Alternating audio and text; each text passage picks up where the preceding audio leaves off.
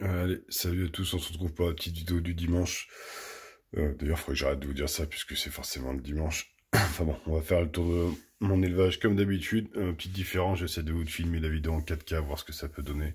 J'ai l'impression qu'il y a euh, la stabilisation qui a, été, qui a été enlevée et vous me direz ce que vous en pensez. Allez, on est parti avec les Messeurs Barbarus qui ont pas forcément repris la ponte à ce que je vois, mais si je vais chercher au fond là-bas, ici, il y a des toutes petites larves qui sont en stade de, en stade 1. Alors si je fais pas la mise au point de.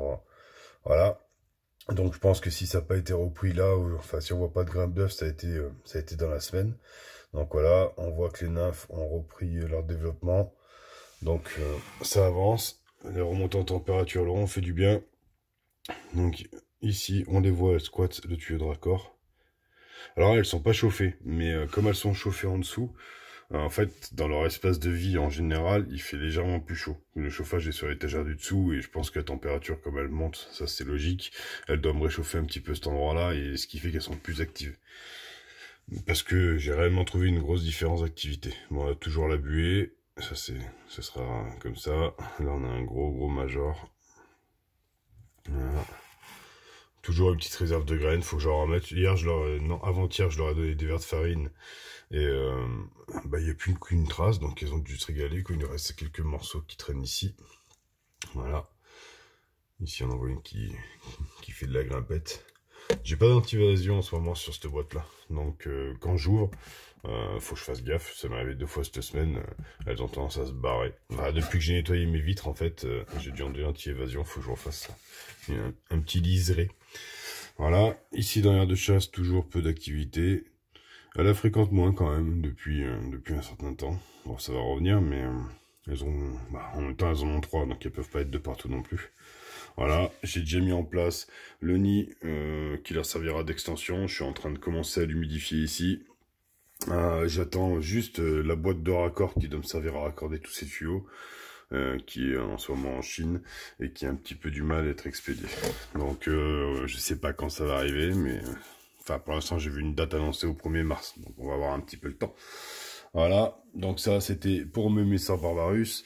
On va descendre en bas, on va faire un petit coucou tout de suite à ma messeur Structor. Donc elle, elle a carrément repris la ponte. On peut voir euh, à, à, droite de l'écran euh, ici des petites larves. On voit des, petits œufs. Euh, on a tout qui avance. On a le développement qui a repris sur les nymphes et sur les larves. Si je parle de loin, vous n'allez pas m'entendre. Ouais, on a, on a, on ce qu'il faut. On voit une nymphe avec ses, on voit les points noirs. Les yeux commencent à apparaître. Donc, du coup, dans pas longtemps, dans quelques jours, je pense qu'on devrait euh, avoir les premières ouvrières de 2020. Bon, sachant qu'elles, elles sont à côté du, du Decrantatus et des Japonicus. Donc, quand je chauffe ici, forcément, elles ont un peu plus chaud. Donc, ça va aider, euh, ça va aider au développement. Une, belle grappe de larves. Voilà ça, ça sera pour les Structor. Euh, les Japonicus, elles sont parties de leur tube, elles sont barrées, elles sont allées se foutre là-bas. Vous les voyez au fond, elles sont allées se mettre sous chauffage. Alors, je vais essayer d'avoir une mise en point ici. Tac. Euh, elles sont toujours trois. On va aller euh, les regarder de plus près. Hop. Je vais lever le chauffage. Alors, ce que c'est pas bien. Alors, ce que j'ai remarqué avec elles, c'est quand je coupe mon chauffage la nuit, bizarrement, elles reviennent tout de suite dans ce tube-là. Donc elle reste là-bas en fait uniquement quand je chauffe. Donc maintenant bah, je les chauffe H24 comme ça moi j'ai plus de problème. Donc voilà. Alors, qu'est-ce que nous raconte les Japonicus? Donc j'ai toujours pas de pente. Euh, chez Japonicus, ça m'a rentré du sable euh, qui était du sable qui était dans ce tube là. Voilà, elles me l'ont rentré avec elles. Euh, alors, elles ont une physiogastrie, donc elles mangent. Donc elles, elles ont été nourries toute la semaine avec du euh, sirop d'érable, alors j'essaie plusieurs recettes parce que je suis un peu en galère pour nourrir les Camponotus. Euh, sirop d'érable euh, flotte, sirop d'érable pur, sirop d'érable avec du lait, euh, du miel avec de l'eau, euh, du sucre avec de l'eau. Bon, elles ont à peu près mangé un peu à chaque fois et je suis pas trop inquiet. Aujourd'hui, elles tournent à la confiture d'abricot. Donc voilà. Donc pour les japonicus, je suis pas spécialement inquiet parce que j'ai réussi à les faire manger. On voit, elles ont des belles physios. Elles ont toujours pas repris la ponte. Là-bas, l'humidité est un peu élevée au fond du tube. Là, j'ai une goutte d'eau qui a réussi à passer les, parois. Elle coule pas, mais il y a une goutte d'eau. Donc voilà, donc peut-être qu'il faudrait que je la monte un peu plus. Là, on est à 26 degrés 2. Euh, peut-être qu'il faudrait que je la monte un peu plus pour qu'elle pompe. Euh, pour l'instant, je monte tout doucement, donc euh, on va passer, on va passer à 27 dans pas longtemps, mais pas tout de suite. Donc pas de reprise de pompe pour la Japonicus, mais les ouvrières vives, c'est l'essentiel. Maintenant, on va passer voir ma Tatus. Alors elle, c'est la galère totale. Elle mange pas, voilà. J'ai essayé 7 ou 8 recettes différentes cette semaine et euh, on en voit une qui a une légère physiogastrie, celle-là, à gauche, elle est complètement maigre. La reine pond pas. Par contre, si, alors c'est pas, c'est pas très stable aujourd'hui. Si on se met comme ça sur celle-là, on a, ah putain, il fait chier, voilà, j'ai le reflet qui m'emmerde. On peut voir que le couvain a en fait. Les larves étaient plus petites, il y en a une qui est même tout, toute énorme d'ailleurs, on la voit là dans les deux mandibules. Donc je pense qu'on va avoir du cocon. En fait, on a une reprise de l'évolution du couvain, mais on n'a pas spécialement de ponte. Est-ce que en 4K on peut zoomer un peu plus Vous allez avoir euh, une fourmi énorme sur votre écran. Tapez pas sur l'écran, vous allez le casser. Donc voilà. Je sais pas, on verra ce que ça donne quand je vous la mettrai sur YouTube en termes de qualité. Voilà. En tout cas, euh, en tout cas, je suis bien content parce que ça évolue.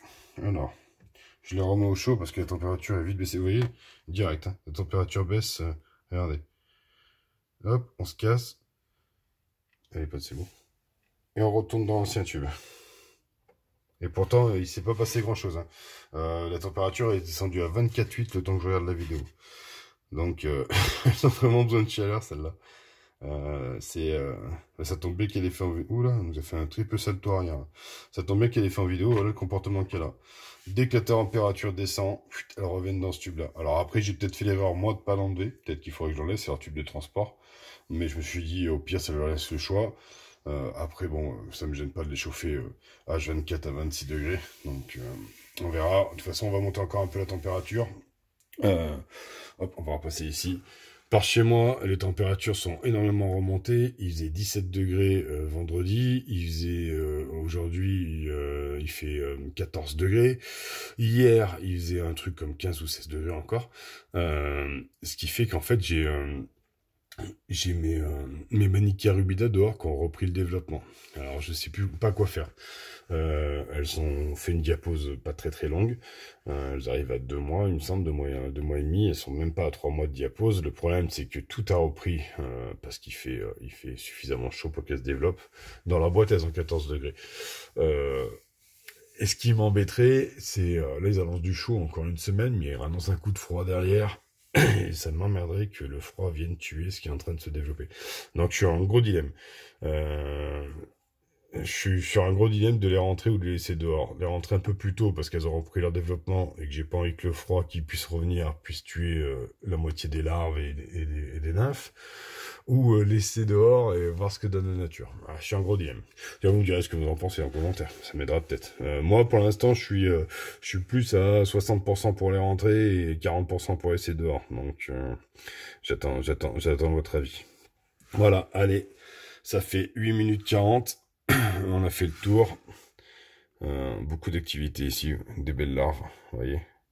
Ah, ça va repartir euh, au taquet. Chez les Messors, euh, chez les Barbarus, ça va, ça va redémarrer un truc de dingue, je pense, dans pas longtemps. Allez, sur ce, je vous souhaite un bon dimanche. C'était la 32e semaine où je faisais des vidéos. On est 184 sur la chaîne. je suis super étonné. ça me fait énormément de plaisir. J'ai beaucoup d'activités avec, euh, avec vous dans les commentaires. Euh, je vous remercie de me suivre et de me soutenir. Allez, ciao ciao